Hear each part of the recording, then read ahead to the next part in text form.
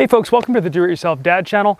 Three years ago, we put up a video about how we hacked a cooler and turned it into a not a Yeti cooler, and that video got over 2.3 million views to date. So we're coming back today with another one kind of in that series. Now, a while ago, we were out on the trail, and one of the guys that we were with we stopped to resupply and he was putting ice creams in a refrigerator freezer in the back of his Jeep. And I thought, hey, kind of awkward flex, but okay. But when we were out on day three and he started handing out ice cream to everybody, I went, I get you now.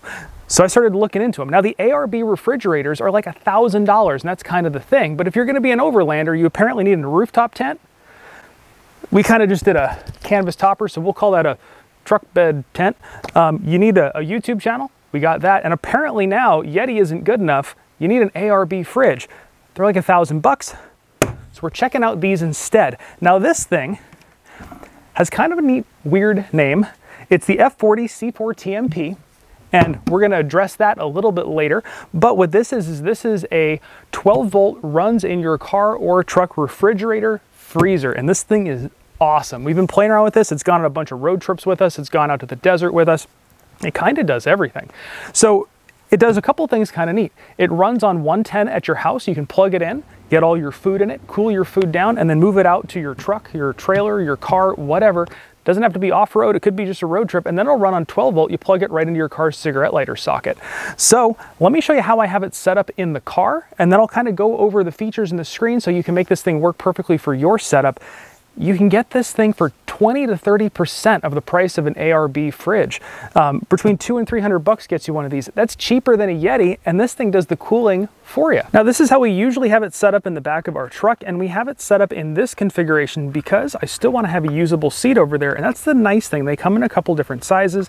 We grabbed the one that we knew would fit here and not take up the other side, but you can also get them a lot bigger. Now, you can see here I've got it humming away even though the truck is not running and it's running off of a battery. And right now I got it set at 33 degrees, which is just above freezing. This thing can go down to, you know, way below freezing. So you can bring ice cream out on the trail or bring it back up if you're just bringing out food, keeping them cold.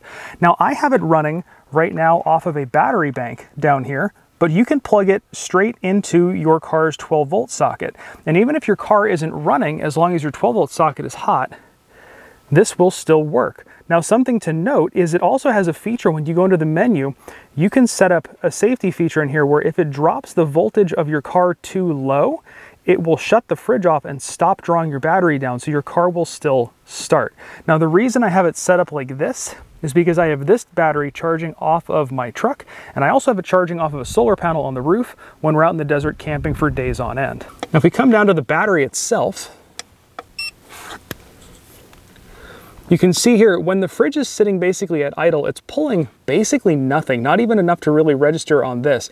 Now let me get the fridge to cycle and I'll show you what it actually pulls off the battery. So when the compressor is actually running, it pulls between kind of 40 and 60 watts of juice. And on this battery, that would give us look at this, it kind of fluctuates, but um, we're talking 30 to 40 hours of runtime, but it only cycles that for a couple minutes every 15 or 20 minutes. So on this battery, I've managed to run the trailer for days without having to charge it or even hook up the solar. So as you can see here, there's a fair amount of space in this thing, even though this is the smaller model. Now it is kind of empty. I only have a few things in here because we're on our way to the store. We're gonna fill this sucker up for a road trip. Then we'll bring it home, keep it cold, and then we'll be ready to go tomorrow. And on this trip we're going on tomorrow, we're actually just going to a hotel. We're not doing an off-road trip, but it'll be great because we can keep all our food in the hotel cold, bring back leftovers, we're good to go.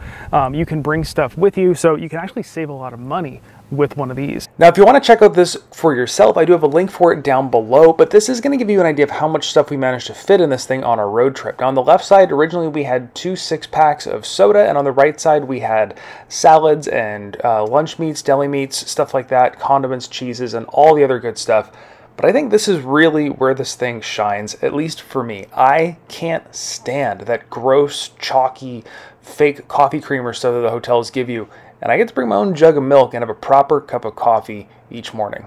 So as I had mentioned, the name's kind of funny, and we've got a solution for that. We hopped on the 3D printer and we made this little badge.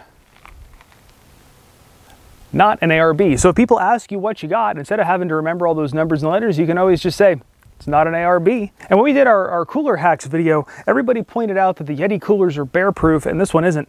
And the ARB coolers aren't bear proof and this one isn't. So I decided let's make it bear proofish. And I got some latches. So let's put those on there. It'll actually make it look kind of cool too.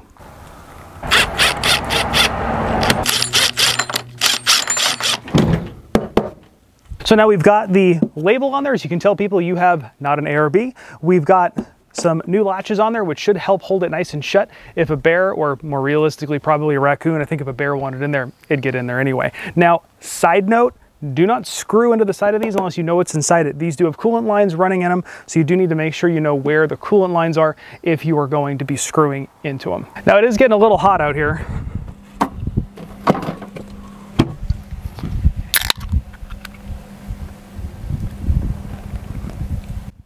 But I hope this video helped you out, maybe gave you an idea or something cool you can use for your next road trip, off-road trip, or camping trip. I'm gonna have a link for this down in the description below, but if this video did help you out, please give it a great big thumbs up and help us out by becoming one of our subscribers. It helps you out more than you know. And of course, thanks for watching.